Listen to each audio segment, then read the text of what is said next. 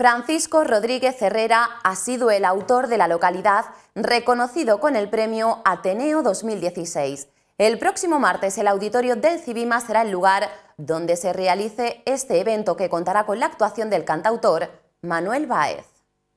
La Delegación de Cultura ha colaborado en el acto organizado por el Ateneo para entregar el Premio Ateneo de Manilva 2016, que ha recaído en el escritor local Francisco Rodríguez Herrera. El próximo martes 13 de diciembre a las 6 de la tarde en el Cibima se realizará este evento que contará con la actuación del cantautor Manuel Báez. Francisco Rodríguez Herrera nació el 25 de mayo de 1960 en San Luis de Sabinillas. Escribe desde su adolescencia, donde ve publicada en algunas revistas sus primeros trabajos, siendo premiado en esa época con el galardón Quijote en Ciudad Real con el poema Conversación con un hombre.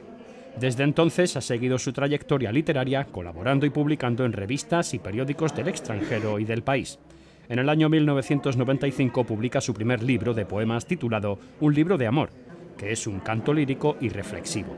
Más tarde publica el cuento para niños Presagio en el río Henares, el anuncio del Quijote, que pertenece a una serie de cinco cuentos que dan luz sobre la vida de autores célebres como son Balzac, Shakespeare, Machado y Goethe. En el año 2013 sale a la luz su primera novela, Petra in vino veritas, de un especial significado para el autor, donde narra la historia de una mujer tierna y vital, con una gran personalidad que elevó la sensibilidad de un joven que mantuvo una gran amistad con ella desde la adolescencia. Su segunda novela aparece poco después, Viaje sin edad, en la que se relata la historia de una familia de pescadores.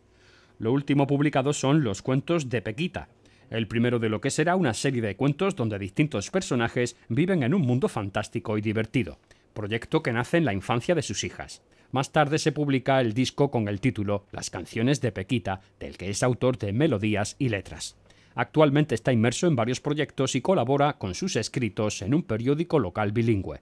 Trabaja en otras obras noveladas como Nadie se llama Caín o Los sueños del monarca. En su trayectoria literaria cuenta con una obra extensa en prosa y poesía, tanto para adultos como para público infantil, contando con libros infantiles como La orilla mágica, El almirez de cartón, En aprender a leer, Nanarín y otros. Obras de corte espiritual como Fragancias del Sol, Estrella Libre que llega a mi corazón y Los Antigua, o Albergues de la Paz. En poesía hay una larga lista de títulos aún sin publicar, como son El cuaderno de las rosas, Lírica social, El cuerpo de la amapola, El poeta de los números, Tiempo de sencillez, Obreros en el alba, El anfitrión del bosque, Estambres del amor, o las coplas de rosas y otras razones y sin razones del amor. Eva Galindo, delegada de Cultura, anima a todos a acompañar al protagonista en este acto.